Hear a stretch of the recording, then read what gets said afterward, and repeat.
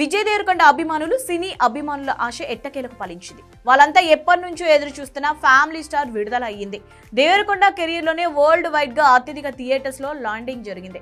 మరి first day collections ఎలా ఉన్నాయో చూద్దాం. ఫ్యామిలీ స్టార్ వరల్డ్ వైడ్గా తొలి రోజు ఐదు పాయింట్ ఏడు కోట్ల గ్రాస్ని సాధించింది.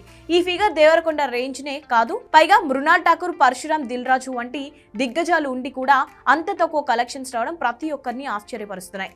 Vijay fans and cine trade వర్గాలు కూడా కలెక్షన్స్ పట్ల విస్మయాన్ని వ్యక్తం చేస్తున్నారు. మరి వీకెండ్స్లో కలెక్షన్స్ పెరుగుతాయేమో చూడాలి. మూవీకి అయితే మిక్స్డ్ టాక్ వస్తుంది. సినిమా స్లోగా ఉందని కొందరు అంటుంటే ఇలాంటి కథతో గతంలో చాలా సినిమాలు వచ్చాయని మరికొందరు అంటున్నారు. అలాగే దేవరకొండ మృణాల మధ్య కెమిస్ట్రీ పెద్దగా వర్కౌట్ అవ్వలేదని అసలు దేవరకొండ లాంటి వెరైటీ హీరోతో రొటీన్ సినిమా తీయకూడదని కూడా పలువురు అభిప్రాయపడుతున్నారు.